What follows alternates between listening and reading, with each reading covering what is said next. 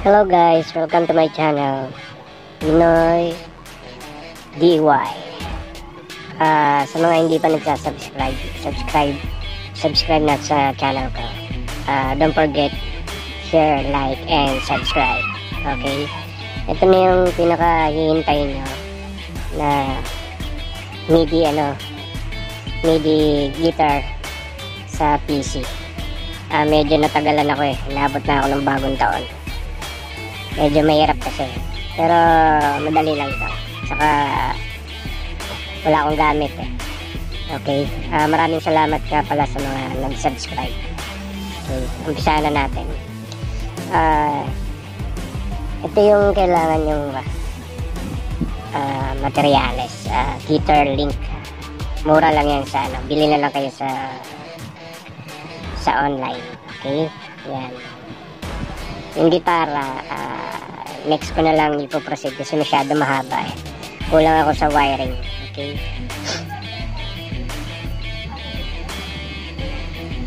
Na, ito nga pala yung ano, yung yung diagram ano. Ah, kasama na rin yan sa i-upload ko. Then, ito pala yung video. Nasaan ba yung video? Okay, hanapin ko muna yung video. Ano? Nawala kasi. Hmm. Yan, nawala yung video. Ah, ito. Yan. Yan. Ayan yung ah, wiring na ginawa ko. Okay. Yan, yan siya. Ah, i-upload ko na lang yung diagram nito. Okay, yan siya medyo mahirap, medyo madali. Basta siguraduhin nyo yung paghinang. Yan. Tapos, ah, ito yung, ito yung, ito yung ano, yan. Ah, download nyo na lang yan. Ha? Kasama na yan dyan sa file. Okay. Then, yan. Then, ayan, yung tinest ko muna siya kung gumagana siya. Ah, yung una medyo talaga nahirapan ako kasi gawa ng paghinang nga. Ah, yan. Okay na siya. Yan yung sineset ko pa. Okay. Yan, function na siya. Ah, nung time na to, ah, medyo nahirapan nga ako eh kasi naglolo ko yung potentiometer ko, binuwasan ko. Ah, dati madami siya eh. Ginawa ko ng 32 input ng ng ah, potentiometer. Uh, kaso, mahirap. Kaya yan. Okay na. Tapos yung ah, yung setting nito, ah, papakita ko na lang sa inyo kung paano. Okay. Ayan. Ayan siya. Okay, lahat ng ano yan, function siya. Okay? Uh, kayo nang bahala kung paano, ano. Yan. Then, paano ko ba ginawa to? Okay, umpisa na natin. Ito yung, ito, nilagyan ko siya ng uh, pang reset. Uh, nakikita niya yan. Para, para ma-reset niyo yung Arduino niyo sa MIDI. Okay? Hindi yan on, on and off. Ayan yung uh, pang-connect dun sa ano. Para para magamit natin tong Atmel clip. Okay?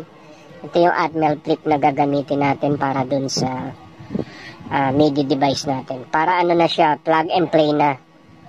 Kung ayaw nyo naman ng plug and play, uh, gagamit kayo ng ng hairless. Okay? Ito yung hairless na sinasabi ko. Pero kung ayaw nyo na nito, uh, imidin nyo siya. Okay? Ibaburn nyo siya. Okay? Tuturo ko sa inyo kung paano. Okay? Tabi na muna natin to. Baba natin to. Okay? Uh, ito yung ito yung sketch na ginamit ko. Uh, ito galing to kay uh, nuts and bolt. Yan. Yan, kaya, tapos, inedit ko siya. Okay? Nilagyan ko siya ng LCD para medyo maganda. Okay? Doon na lang ako nag-edit. Binago ko lang siya ng konti. Pero yung, ah, yung mga buttons at saka ano, ah, analog input niya at saka digital, ah, maintain na rin doon kay, ano, kay ah, Note N bolts. Okay? Nut and bolts pala, sorry. Ayan, ito siya. Ah, nasan ba yung pangalan niya? Ah, wala. Okay, basta yun na yan. Ang gagawin natin una is ah okay, ito ito siya, ito. Wala naman kayong babaguhin kasi sinet ko na to eh. Kung gusto nyo uh, buwasan yung button nyo, ah, lalagyan nyo lang to ng comment. Okay? Ito yung comment na tinatawag. Okay? Ay, uncomment nyo yan or para kung gagamitin nyo, comment. Ito yung unang gagawin natin, ha? Ito yung ah, pot- potentiometer natin. Yan. Analog analog 0, analog 1, 2, 3, 4, 5, 6, 7, 8 yung analog na gagamitin ko para dun sa kasi 1, 2, 3, 4, 5, 6, 7, 8 dun para dun sa wawa. Okay? Ito, itong input na to, ah, hindi, wala naman kayong babaguhin. Kung gusto nyo baguhin, is, eto, dito nyo, magdagdag lang kayo dito. Yan, yan. Dagdag kayo, tapos uncomment nyo tong, eto, delete nyo yan, okay? Tapos, yun, kung dadagdag kayo ng potentiometer. Ngayon, sa button naman, ah, gumamit ako ng 13 button. Kasama na yung sa Wawa. Ito, 1, 2, 3, 4, 5, 6, 7, 8, 9, 10. Okay? Yan. Ah, explain ko sa inyo. Itong 1, pwede nyo palitan to kung gusto nyo mag-toggle. Ito, toggle siya. Ah, papalitan nyo ng 2. Okay? Ah, pwede nyo palitan siya para mag-toggle. Ito kasing switch na to. Ah, pag, pag pinindot mo siya, naglalak siya, ibig sabihin, hindi siya naka uh, atagel siya, hindi siya momentary. Okay? Ang ginamit ko is number 1 kasi naglalak siya, eh, okay? Dapat yung gagamitin nyo is yung kung wala kayong ganito, yung pag pinindot mo, hindi siya naglalak, uh, mas maiging gamitin yung number 2, itong toggle. Okay? Yung hindi naglalak ha, pag pinindot mo siya, hindi siya naglalak. Yan.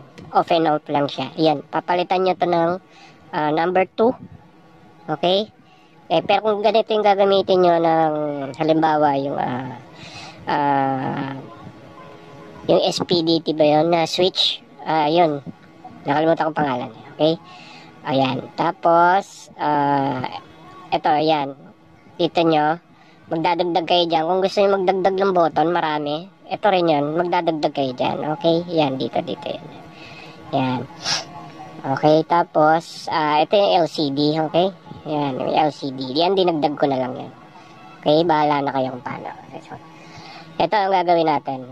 Ah, dito, sasaksak natin. Ito, nakaprogram na siya, pero ituturo ko sa inyo kung paano. Okay? Uh, plug and play na yan. Ang gagawin natin, ah, okay, sasaksak natin yung Ayan.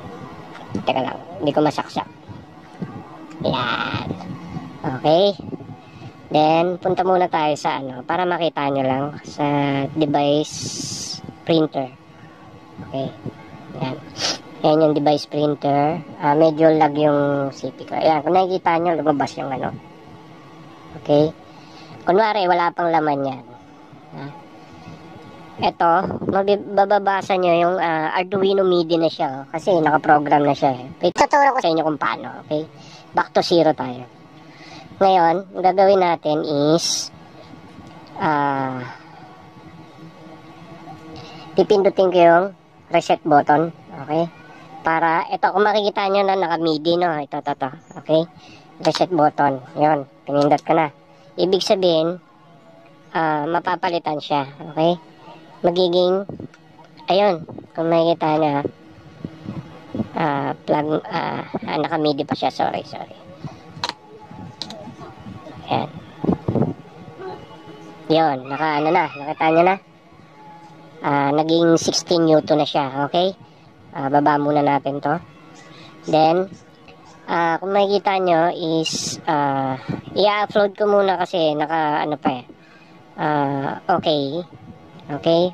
Babalik muna natin sa original siya. Tapos check nyo yung USB, load. Okay na. Ibig sabihin, ah, ah, tapos ito, load yung hex na USB. Back to zero muna tayo. Ha? Okay, run. Ah, ibig sabihin, makakapag-upload na tayo ng code. Okay, baba muna natin to. Ah, then, yan. Tapos, ah, yung folder? Ayan. Ito, kung mapapansin nyo, naka-Arduino Mega na siya. Ibig sabihin yan, pwede na kayo mag-upload ng code ah, dito sa Sketch kasi lalabas na yung port niya. Okay? Kung mababasa niya, ayan na yung port. Oh. Kailangan lagi naka-open yan. Ha? Okay na. Tapos Arduino Mega. Ang Arduino nyo is ah ang gagamitin nyo Arduino, hindi ganito ha. Ang gagamitin nyo is Arduino 16U2. Ito, ito, Arduino CH340 to. Hindi ito ha. Yung may pin dito na pwede kayong mag-reset. Okay? May meron siyang 6 pin na nakalagay dito. Diyan, meron dyan. Ito, ah, Arduino CH340 to. Okay, hindi to. Ah, pwede rin kayong gumamit nyo kung uh, careless yung gagamitin nyo. Okay, uh, de, start na natin. Uh, ang gagawin natin, i-upload natin yung code. Pindutin nyo lang tong check na to. Yan. Okay, hintayin nyo. May lalabas dyan na na upload. Ayan.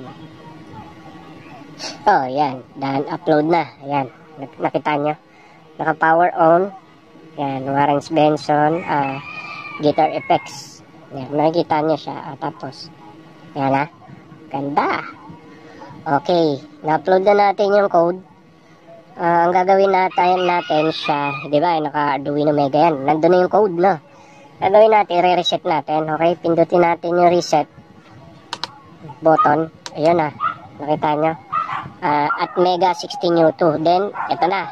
Gamit tayo ng uh, pindutin nyo itong parang uh, IC. Then, at, uh, uh, at Mega 16U2, okay? Then, itong USB. Oh.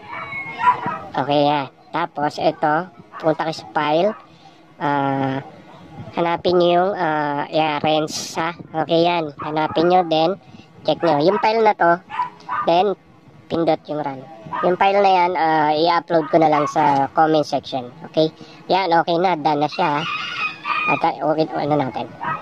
Hindi ko nakita. Okay, yan na. Done na siya. Then, close na yung program. Close na yung program no? Tapos bunutin yung ano. Ayan kung makikita nyo naka MIDI na yan. Ayan naka MIDI ayan no na, nawala. Ayun naka MIDI na siya. Arduino MIDI no? Ah nakalimutan ko palang sabihin sa inyo. Pag uh, hairless yung ginamit nyo no? Uh, pag hairless ganito yung gagawin nyo. Kunyari uh, ayaw nyo uh, ang gagamitin yung Arduino Mega is uh, CH340 ang gagawin nyo is ano nyo lang to? Lalagyan nyo ng comment no?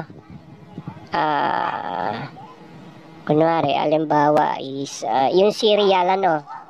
Sorry naka serial pala ako na uh, uh, serial begins sa uh, sorry sorry uh, Arduino ah, ito ah, kagaya nito, naka-ano na siya. check i-ano nyo lang to. Lalagyan ng comment, then, ito, yan, sorry ha. Kung ito pala ang gagamitin nyo, ito, kung tatanggalin yung, uh, ano, comment section, magiging red siya, yung kita nyo ha. Serial lang gagamitin nyo dyan. Ibig sabihin yung hairless na serial. Ito, ito, yung hairless pala yun. Okay na yun. Eh. Then, pag uh, naka-midi siya, eh, i-uncomment, uncomment nyo lang yung ano. Tanggalin nyo tong uh, uncomment nyo. Tapos, ito, Yan, ibig sabihin nito, ito yung gagamitin natin doon sa program na MIDI. Okay? Yung kaninang ginamit natin. So, uh, nag-upload ako ng code. Uh, kamali lang ako yun. Gagamitin natin is uh, no. No? Okay, mag-upload tayo ulit ng code. Ha? Okay, babalik natin sa normal. Yan. Kung mapapansin nyo, yan, nag at mega 16 newton. Babalik tayo ulit sa zero. Okay? Ito. Ah, uh, gagawin natin, baback to normal tayo. Okay? Para ma-upload natin yung code. Open. Yan na. Nag-ano na siya. Then, punta tayo sa yan. Okay? Yung kanina, para dun sa serial yun. Tapos, run. Okay, kung mapapansin nyo, bubuno unplug natin.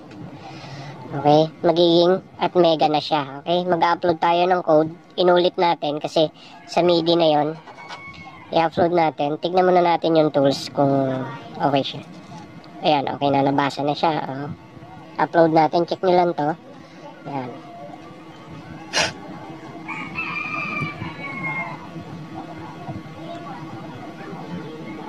okay na. Pag done na siya mamamatay naman yung ano. Yun yung LCD ayan na nabasa niya na di ba?